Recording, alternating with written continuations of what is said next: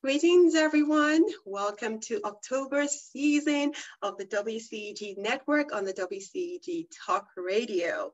We're the worldwide community empowerment group where we speak life into the community. I am Dr. Babs, your physician and founder of Living at Your Finest Wellness. I'm your show host for tonight on this holistic perspective show, and I'm joined by my wonderful colleague and friend, Dr. Gabrielle Williams. She is a physician and founder of Gateway Direct Health. We're here to enrich you all with information that is not just going to be inspirational, but impactful. So, you know, we've approached this flu season, cold season, and we thought that it would be best to talk about the best practices on how to stay healthy and well during this season. So, the question for the hour what are you doing to get yourself ready for this cold season? Have you armed yourself with all the appropriate gear to ensure that you can fight all the viruses, all the unnamed viruses out there. So this evening, our goal is to discuss a few things, the different cold illnesses, how can you differentiate one from the other?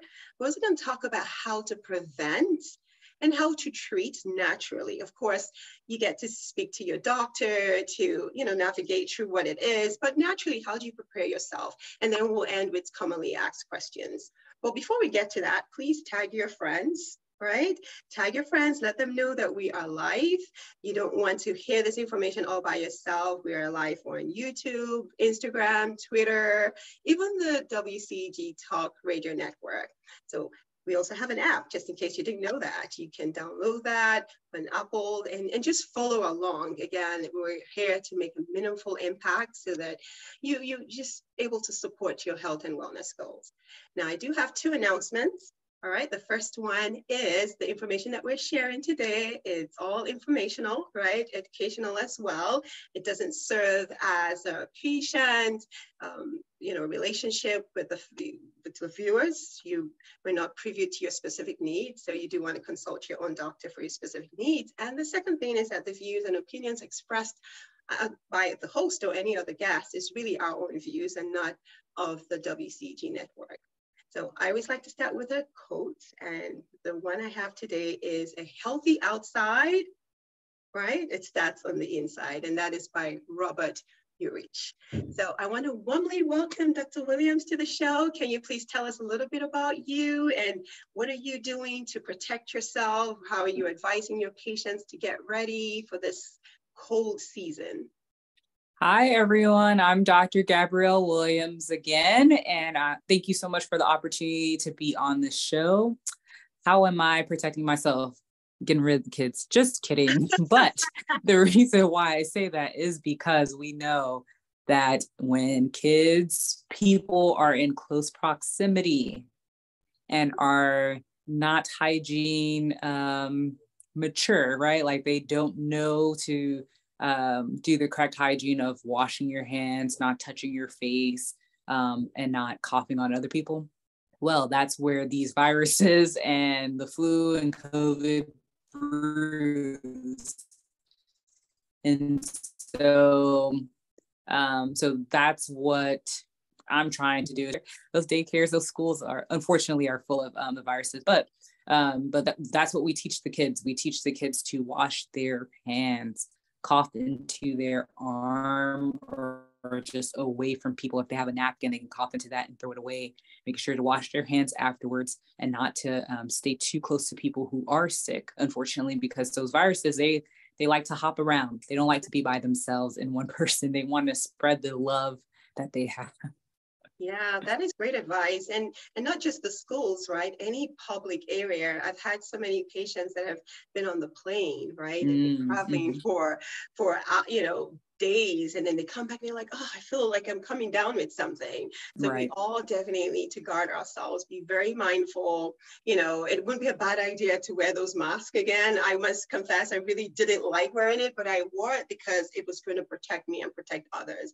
So right. certainly just like you mentioned with the schools make sure that they're washing their hands covering their nose um, making sure that if you're sick stay away. Don't do not risk getting other people sick. Those are certainly great um, habits to, to attain, uh, obtain and make sure that you keep them during the season. Now, I guess people will be wondering, what are some of those illnesses that happens? I mean, the most common one we hear is flu, of course, with the COVID, but are there other things that you see at your practice that you can share with us that, you know, would help um, our listeners kind of, you know, distinguish between whatever it is that is going on with them?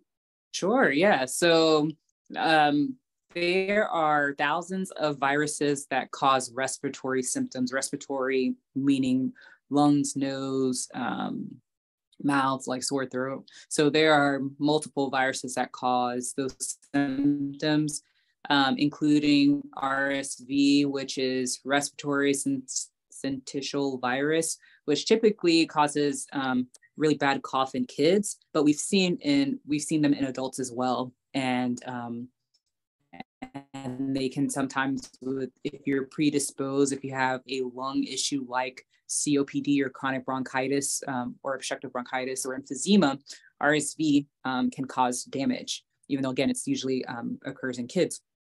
And then there's like a whole host of things, uh, a whole host of viruses.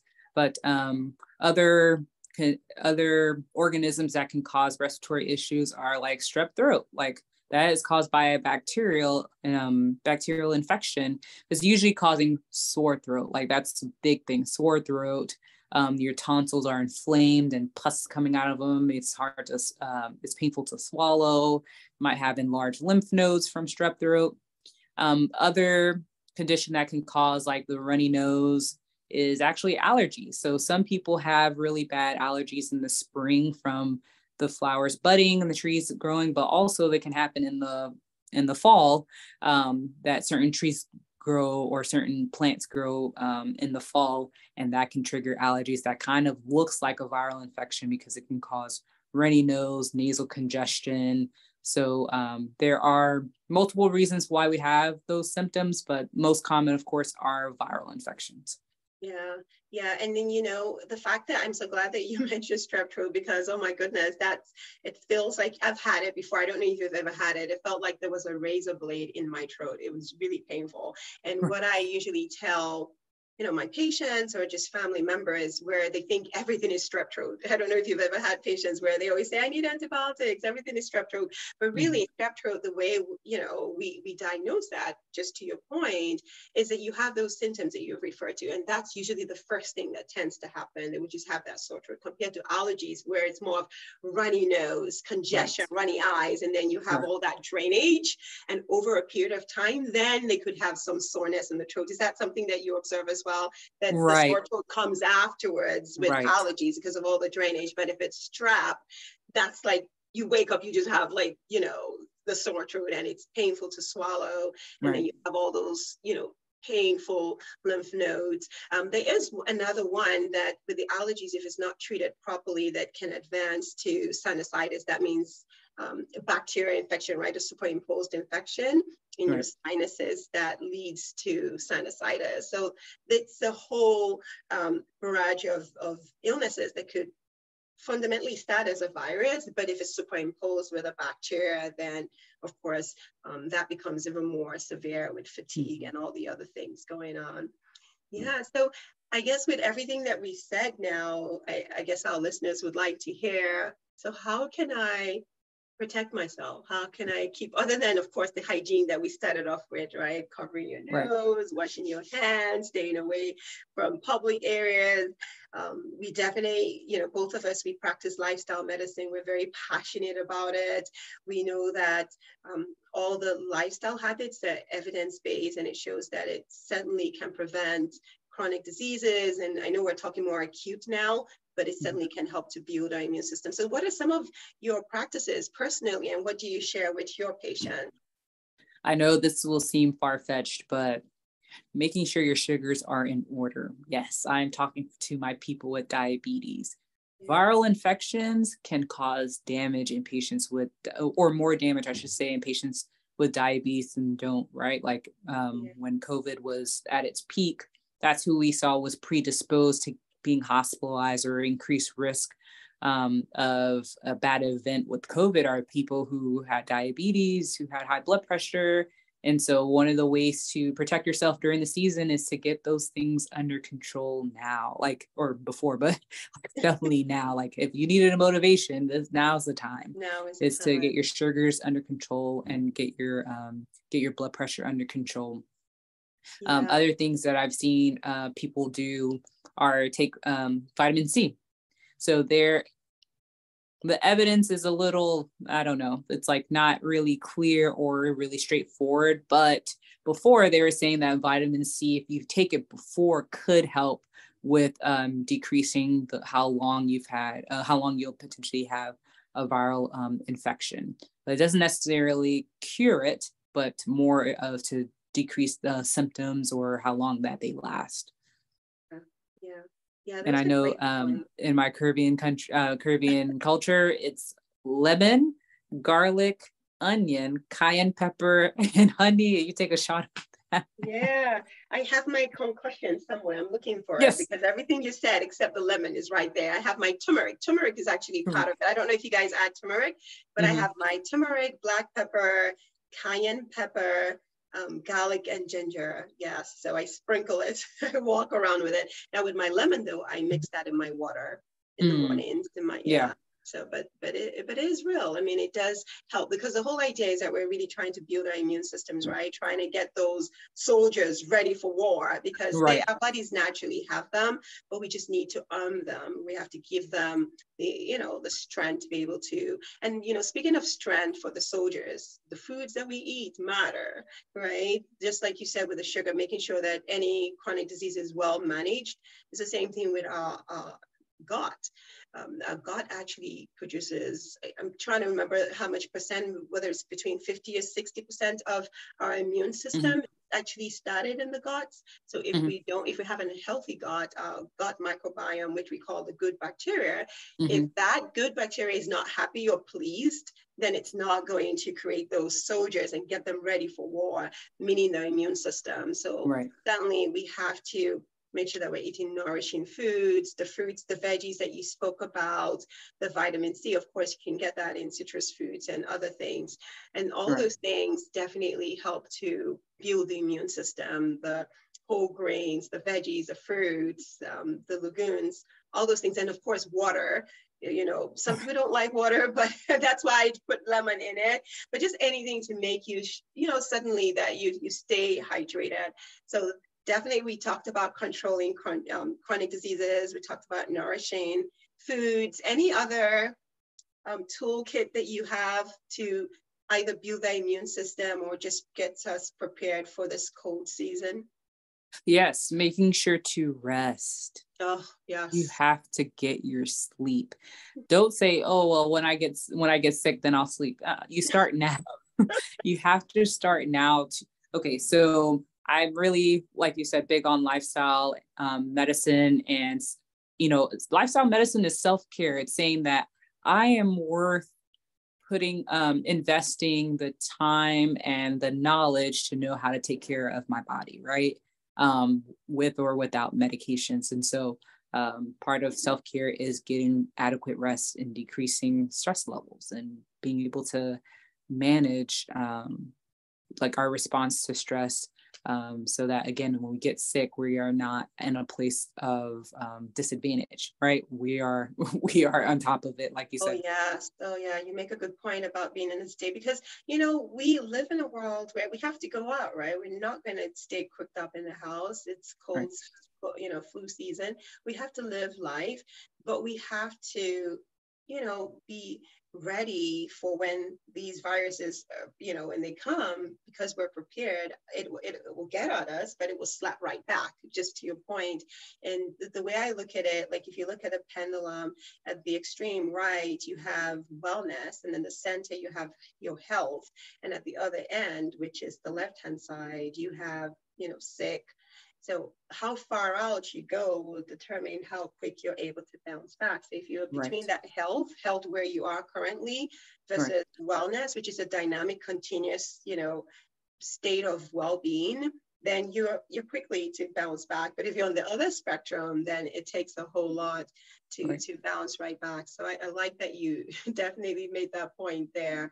Yeah, sleep is so essential. And again, with the sleep, it, a lot of immune systems are built then, right? And we help to decrease the cortisol level right. when we sleep, because if we, we're not sleeping, we're increasing our cortisol. So we're body is just in that stress state. Yes. So certainly sleeping more will help for sure. Yeah. Now, what's about what are your thoughts about just physical activity? Does that play a role at all? Are you what what are you telling? And the reason why I ask you this question is because I don't know if you've noticed, but I know it happens to me. I, I like to, you know, do a lot of walking outdoors and stuff, but I do not like the cold. And I and when it comes to gearing up and wearing so many sweaters, it's a hassle. That's why yes. I don't really like the tights. I don't know if you're a tight person, but it takes too much work and time to get ready during the winter months, right? It's extra time. So I, my excuse usually is that, no, it's too cold outside. I'm not going to mm-hmm. walk. And then before mm-hmm. you know it, you know, we're not exercising as much, even getting to the gym and running in.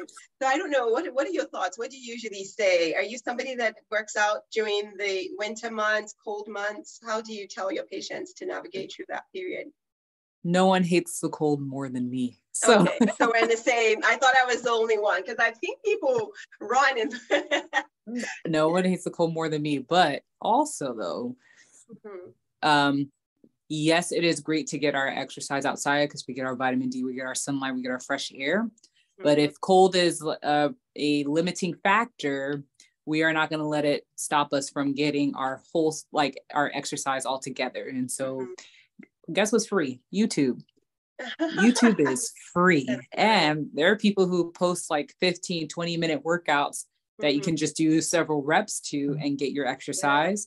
Yeah. Um, if you don't want to get a gym membership, you don't have to necessarily um, have to pay for one. But the community centers, I know you just have to run real quick to get inside, but the community centers usually have um, a um, a place where you can walk around and you know mm-hmm. go uh, go around on a track for 10, 10 times and you're walking a mile um, but yes physical activity has everything to do with preparing for sickness um, and I liken it to like, you know, um, if you're able to make sure that your baseline health is mm-hmm. wonderful, if you are hit with something, you're more than likely to bounce back faster and better.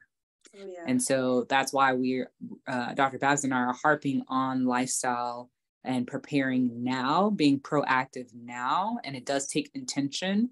Um, it, you're not going to be healthy um, without doing any work, right? Or putting in any um, investment. And so, yes, physical activity, nutrition, adequate sleep, decreasing stress, those are all helpful to make sure that your baseline um, health and wellness is optimal. And so, if something were to happen, you'd be able to bounce back quicker and better. Yeah, and uh, it reminds me of this quote that says, if you do not make time for wellness now, you are going to be forced to make time for the illness, right? Have you heard that one before? That if you don't make time now to be well, then it's unfortunate when you take ill, you're going to be forced to, take care right. of yourself. So definitely right. prevention is better than cure at this point to make sure that we're well prepared. So again, just to recap and everything that we said, we already know the different cold issues that we could have, right. allergies. It could just go from allergies, pure allergies, as you beautifully said about the spring and the fall. I actually had a patient that said never, never had issues with allergies. And then all of a sudden in the fall, she's like, what is going on? Runny nose, watery eyes. So just right. be, you know, be observant of, of how your body is changing and be aware of how you want to nip it in the butt right away you know, don't, if, if you're not feeling better, especially what we typically say and what the evidence has shown is that if the regular medications, the antihistamines, which helps with the drainage, you know, changing your filters, making sure that you wash your hands with all of that so you don't bring pollen in, mm-hmm. the usual stuff. If all of that you're doing and it's, you're still not getting better and you're even feeling more sick, then mm-hmm. definitely mm-hmm. you want to talk to your doctor because you might at that point need antibiotic. Of course, they have to examine you and confirm that. Right. And, you know, if we're talking about about flu, you know, it's all the symptoms and more, but feeling weak and tired. COVID has, uh, it could be non-specific, but again, most of the common things that we hear similar to the flu, but some people mm-hmm. taste, their um, smell, right? Right. Other unique things. Of course, you know, we have a lot of all these testings around that you want to check. So these things, just to be aware of what they are. And then we spoke about strep throat. Now, what's about pneumonia? Somebody had asked me about walking pneumonia and bronchitis. Um, secondly, one of the things that we will talk about is smoking because if you're at risk, just as we spoke about right. diabetes and hypertension, if right. you smoke, this will be the time, just like Dr. Williams said, if there's a reason to get rid of, you know, some of those habits. And I know we're creatures of habit, so it, you definitely want to work with your healthcare provider to help you, you know, cut, reduce and ultimately come off of those things. But I want to ask you in terms of your practice, Dr. Williams, how often do you see like walking pneumonia or bronchitis during this cold season? Oh yes, I you are totally right. That is all in the um I guess in the bucket of all the things that can happen. all the respiratory, again, the respiratory. Mm-hmm. So mm-hmm. bronchitis is um, where there's inflammation of the bronch, bronchus, bronchioles, which are the um, breathing tube and stems into the lungs. So where air is coming um, into the lungs and out. And so when they ha- are inflamed and have mucus in them, they can cause wheezing and just um, not really great stuff. Now, most um, actually, yeah, most common cause of bronchitis is viral infections, unfortunately. Um, mm-hmm. and so that's what we call like maybe a lower respiratory um, yeah. infection or uh, symptom versus the upper respiratory is yeah. more the nose, um, mouth. Mm-hmm. Yep. And so pneumonia, though, is bacterial infection of the lungs. So this is actually common symptoms are fever, fever, persistent fever, and cough. Uh, with viral infections, you can have a fever, but usually, again, it gets better. With pneumonia, because you need an antibiotic to fight off that infection, the fever will persist or can persist but some people can have pneumonia for uh, a week or so and, and like just moving around but have like some shortness of breath and maybe not realize that it's short that they're short of breath um, and have this uh, cough. It could be productive meaning that you cough up some mucus or it could be dry. Um, and pneumonia you definitely need an antibiotic for that definitely yeah, yeah. And I guess that takes us to, you know, some of our commonly asked questions. And I'm glad that you brought it up. When will be the indication for antibiotics, right? So it's not everyone that is coughing that needs antibiotics, right? And it's not, you know, there's usually the question, is it productive? Is it what color? Is greenish? Is it yellow? It's really a combination of all the other symptoms, you know, if there's fever, if it's worsening. Um, so how, how do you approach that in terms of when people um, inquire and ask about antibiotics. Why I, I, think it'll be important for us to stress why everyone doesn't need antibiotics because antibiotics, as good as it is, it can cause some issues. So I'll, I'll let you share um, your thoughts about that. Sure. I know, okay. I know you are miserable. I know, guys. I know the viral infection is causing so much congestion you can barely breathe. Um, I know that you're causing a cough that people are looking at you crazy. I know that you really want something to get rid of that. I get it. I really do. I see you and I feel you. Um, but viral infections do not and will not get better with antibiotics because antibiotics are targeting bacteria, not viruses.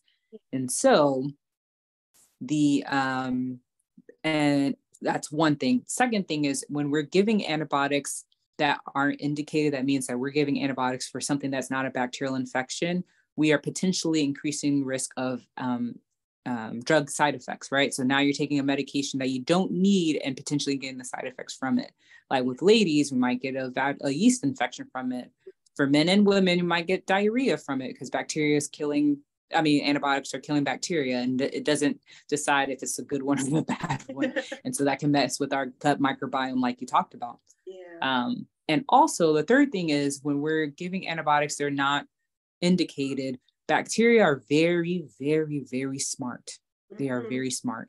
They said, oh, this bacteria, I mean, this antibiotic, hmm, let me figure out a way for me not to be susceptible to this next time. Let me figure out a way to, to change my DNA so that if I see that antibiotic again, I'll be yeah. able to fight it and fight the body that I'm in.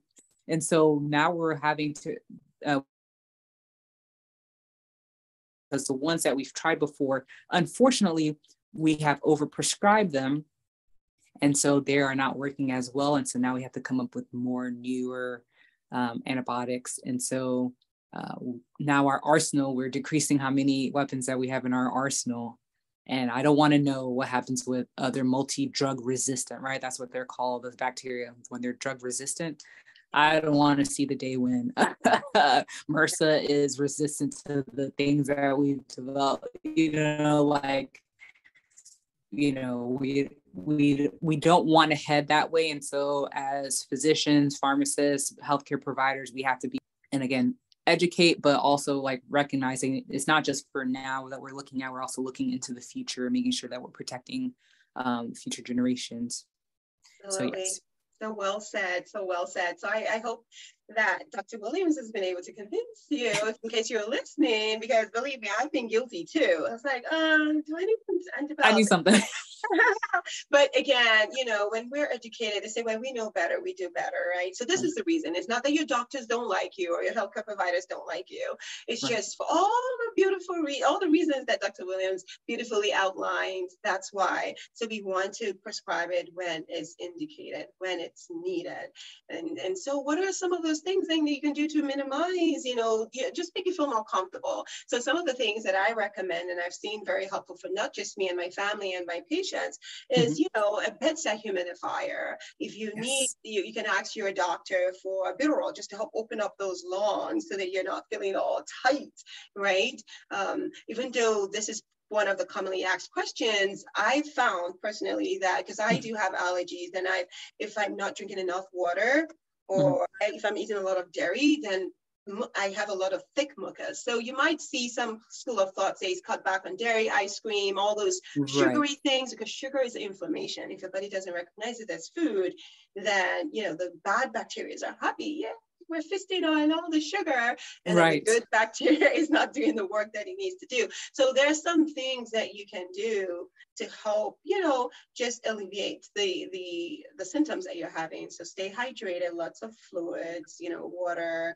Um, if you're into um, essential oils like the peppermint oils that, mm-hmm. that's really good um, other things that you can do to just help open up those lungs change your filter suddenly bedside humidifier uh, let's see, any other tips that you have there to help with those symptoms as, as, as during that period? Take the days off that you need to take. Yeah. I know our our uh our culture is oh, I gotta work through my sickness. You're not helping anybody and you're not mm-hmm. helping yourself. If anything, you're yeah. kind of mm, potentially prolonging your symptoms yeah. and then infecting yeah. other people. And I so I understand like, yeah, we gotta make the money, we gotta do this. But if mm-hmm. if your health is um if you're not feeling well, take the days off that you need and make sure you mm-hmm. sleep your 12 hours because your body will tell you we're, we, we are out for the rest of the few days oh, for yeah, the next few days. Yeah. And then, you know, again, you know, we're usually tempted. I'm the breadwinner of the house. I have to work to bring money. But unfortunately, if you collapse and you just break down, then you're not going to help the home. You're not going right. to help the family. So we all need to always remember that. And certainly, some of the additional things in terms of the immune system is, you know, the zinc. There, there is studies that have shown that zinc. Uh, you do need to ask your you know primary care provider what is the mm. specific amount that you need right. about the vitamin d you know 10 to 2 PM is usually that period where you get the maximum amounts, 15, 20 minutes. Um, just vitamin D helps to build your immune system. Um, there's the beta carotene that you see a lot in sweet potatoes and um, broccoli and the fruits and veggies. I think you can never go wrong with any of them. Right. you know, if you eat the rainbow, eat the colors, that definitely helps. Um, so yeah, so we said C, D, zinc, and you know the typical fruits and veggies suddenly. So yeah so this has been great. I hope that this has been helpful. I don't know if there are questions. Please throw the questions at us. Um, we've already mentioned some of our commonly asked questions. I think there is one. Let me pull it up and see. Oh okay. Good question. So the question is what causes the mucus to change colors yellow to green? Uh, you want to take that one? Yeah bacteria. Ooh, those yeah. I'm I'm telling you, those those buggers are smart. it's like, yeah. So usually like with the clear mucus, um, it's not inflamed or infected, I should say. uh, clear mucus is really not a sign of infection. Um, it can happen from the allergies we talked about, could happen from viruses. Uh, but yes, when it's changing to yellow and green, that's pus, pure, purulent uh, material. And that is the body literally trying to fight the bacteria. And so it's the white blood cells, the bacteria all mixed in one. And that's what makes that pus, um, that um, pus look. Same thing like with the, if you have an infection or a boil, if you were to, you know, um, pop it or see what comes out of it, it's usually a white um, drainage. And again, it's the white blood cells, the immune system cells, the bacteria fighting against each other. And that's what it looks like. yeah, yeah, definitely. You don't want to get those things mad. You don't want to get the bad bacteria angry at all. But yeah, so certainly if you start seeing the color change, you're just not getting better. Please, please, please, please just seek help don't stay indoors and keep nursing it. We definitely want to distinguish when it's not getting better. Right. You know, the conservative management, when do you need to seek treatment? And certainly when you go to your doctor, um, just they might consider if depending on what part of the body, if it's upper versus lower, they could do a chest x-ray. But again, if you're smoking, please stop smoking because that's just going to make it worse. It's not going to make it better at all.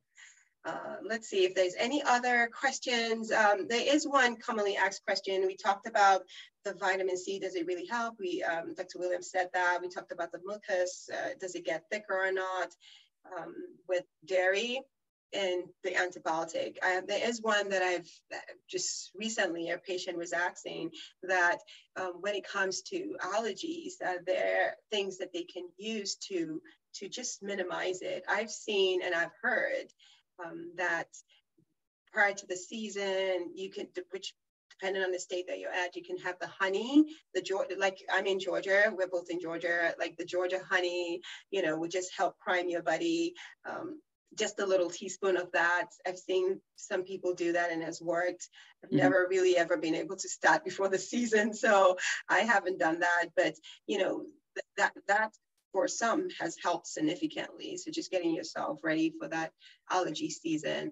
And of course, your shoes, making sure that you don't wear shoes in the house, especially on carpet, because you're taking bringing things into the house, right? So those would be some things that I would say that you can do um, during the allergy season that can certainly help. And I've seen that it's helped. So that was a question that came up that what are some things that I can do to help? And then ceiling fan a lot mm-hmm. of times mm-hmm. people forget about that ceiling fan. Mm-hmm. And then you wake up, you find out that you're coughing more during in the night and first thing in the morning. But that's mm-hmm. because you're sleeping, all that dust, you know, has accumulated.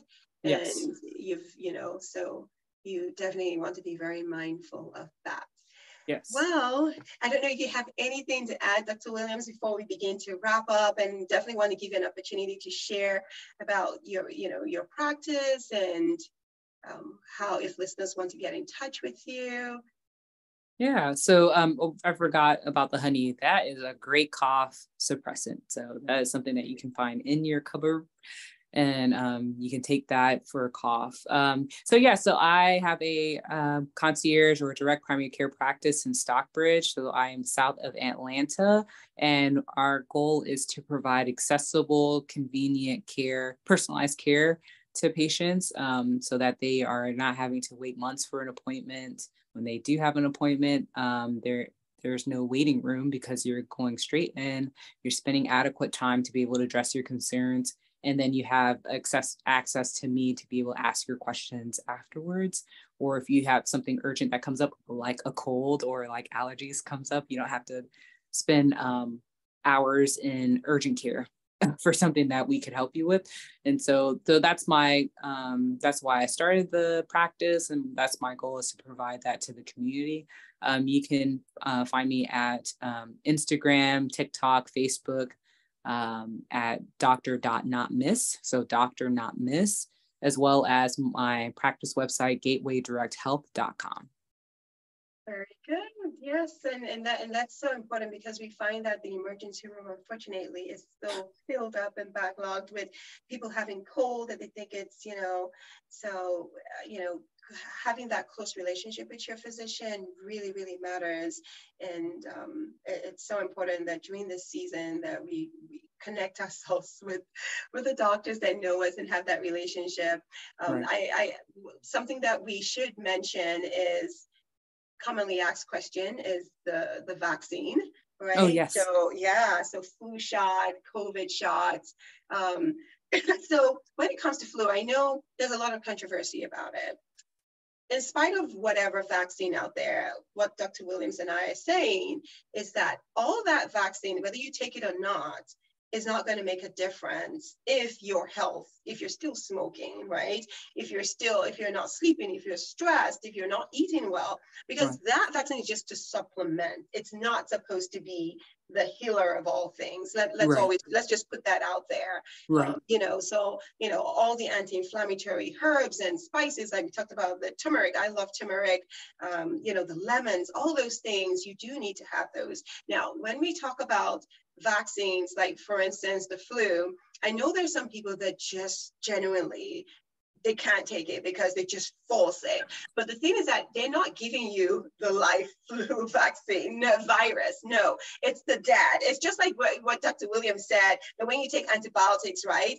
The, the body is so intelligent that it's like, ooh, look at this. I need to find a way to I've recognized it. I need to know when it comes again that I can guard against. And that's what the flu, any vaccine that you're getting, it's a dead. There are different types of vaccine, but we're not going to go into that part. But the summary of it is for the flu, it is a dead one that is there that your body forms a, a, protection against it so that when you do have the real thing, your body can attack it much better. It doesn't mean that you won't catch it, but right. you minimize the effect so that's what the flu as well as the COVID. Nobody's giving you life um, virus in your body. Yes. And I think yes. that's where the controversy is that people always feel like, you know, they're putting, injecting things into our bodies. But based on the research that we've seen and all the investigation and studies, that's not the case.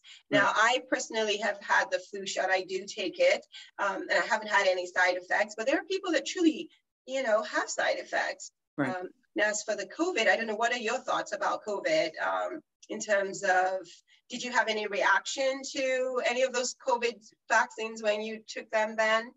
The only thing was my arm was hurting, but okay. that's true with any vaccine. Mm-hmm. Um, but to me, it, it, was worth it because of the protection that um, I'm having my body make right? Like I'm just helping my body say, hey, instead of catching COVID, how about we just like see up a little part of it? Let's develop some antibodies so that if we do see it again, we have a defense already ready, mm-hmm. right? So, so you know, personally, I think that vaccines are helpful. I think they, I think they've proven um, themselves to be helpful, especially when we see the number um, how polio, you know, is you know it was gone anyway, but you know polio was was gone um, the mumps and measles and rubella, they were, you know, they were um, on the way to eradicating them. And so, um, yes, I know that it's new. And so that makes it feel unsafe or makes it feel like, okay, I should be apprehensive. And I understand that. I understand mm-hmm. also how um, we're worried that, you know, pharmaceutical companies are trying to make money off of us. I, I get all of that. I get all of that. Um, but I just um, say that hey, if this is something that can help me, let's just go ahead and do it. Let's try it. Yeah, yeah. And then, I mean, that was so well said. And the question is, is there a new COVID vax coming out? Huh. Have you heard about it? I know that there's the RSV, right? We, you talked about that at the beginning a little. Um, yes. We're hearing that there's a new, like I've seen patients where they tested negative for COVID, they don't have flu. Okay, what mm-hmm. is it? You know, and it's not allergies. Mm-hmm. So the question is it RSV? So, you know, I don't know. When it comes to the, the standard ones, I, I've heard though that some of those, depending on the test that you're doing, just because it's negative, you might need to do a series of them right before it comes back positive because there's a there's a period where it will the, the viral load will show um, right. So just because it's negative, if you haven't, they say if it smells like, if it if it sounds like a dog, it's a dog. I, I that's my take on it. Now, whether right. there's something else coming around, I do not know. So right. I don't know what your thoughts about that. Have you heard of any new COVID vax? So yeah, there's like the new COVID vaccine. Uh, I think it's quadrivalent. Like it's just a little bit tweaked different mm-hmm. from the um, previous ones, and so they've discontinued the old ones because I guess they found that these are uh, more effective. But as far as new viruses, I haven't heard any. But you know, these viruses have been around for a long time, and I think it's recently that when we had COVID and flu tests, everyone's like, okay, I need to get tested to see if, what this is. But in actuality, a lot of these viruses like we don't have tests for one and two testing doesn't necessarily make a difference because typically they do get better. They do get better.